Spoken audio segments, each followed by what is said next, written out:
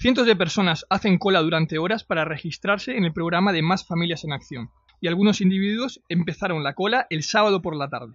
Pues tuvimos un poquito de susto por la lluvia, pero logramos pues entrar más gente a un lugar que no teníamos eh, planeado ubicar gente, pero ya lo, lo, mejoramos. La lluvia está con nosotros, ya no hay lluvia. El proceso al principio fue un poquito dispendioso ubicar toda la gente, pero nada, revuelto, o sea, gente eh, en, con discordia no hemos tenido, inconforme no hemos tenido, ha surgido, ha sido, el circuito ha tenido mucha fluidez. La gente que ha estado en inscripciones anteriores dicen que estamos organizados, eso no lo decimos nosotros, lo dice la gente.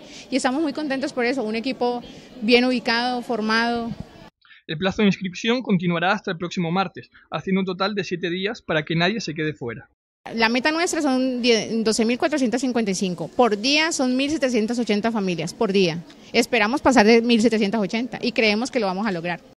Los funcionarios permanecerán en servicio hasta completar la cifra que sirve como meta. Esto les asegura una dura jornada, ya que el proceso tiene varias fases. La persona entra con su, mostrando su cédula con pico y placa, que es la terminación, eh, el último número de la cédula, eh, trae sus documentos, se le revisan, pasa a, una sala donde le le revisan los documentos nuevamente, pasa filtros, mira si está en la base de datos, si está en la base de datos, pasa a otra sala donde le dan una ficha para que pueda pasar a inscripción. Después de inscripción pasa nuevamente a otra sala que es la madre titular, ¿sí?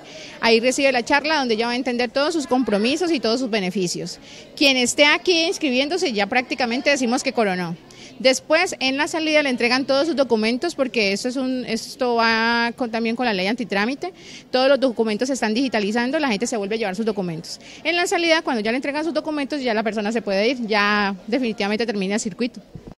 Las madres cabeza de familia que se registren tienen que acudir a una charla orientadora para que conozcan mejor el programa y comprendan sus responsabilidades y beneficios. Responsabilidad que si no lleva al niño o sus niños a crecimiento y desarrollo o a estudiar, porque aquí se le aquí el beneficio es para asistencia a clase, no para que esté matriculado solamente, sino que debe cumplir el 90% de asistencia a clase.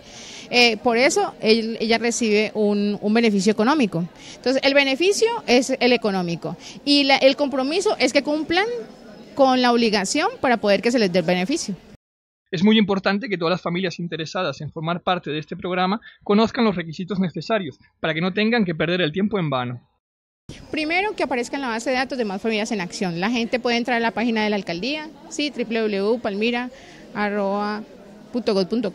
Eh, ahí se puede verificar. Si aparece en la base de datos, hace su fila con los documentos de identidad, cédula actualizada, fotocopia de la cédula, registro civil de sus niños, original y copia, tarjeta de identidad de sus niños, original y copia, menores de 7 con crecimiento y desarrollo, también original y copia. Con esos documentos hacen la fila. Miran que están en pico y placa, ven en el día que es, no pierden su tiempo, entran fluidamente. Si trae sus documentos incompletos, se le complica porque puede ingresar probablemente unos niños y otros no. Si viene el día que no es, se devuelve y pierde su tiempo. Entonces, si todos funcionamos como, como articuladamente, esto es fluido y cumplimos la meta. El pico y placa es el día martes para los individuos cuya última cifra de su cédula sea 1 o 2. El miércoles serán los terminados en 3 o 4. Los sucesivos días serán 5 y 6, 7 y 8 y 9 y 0. Todavía quedarían dos días, que serán para dedicárselos al programa de Jóvenes en Acción.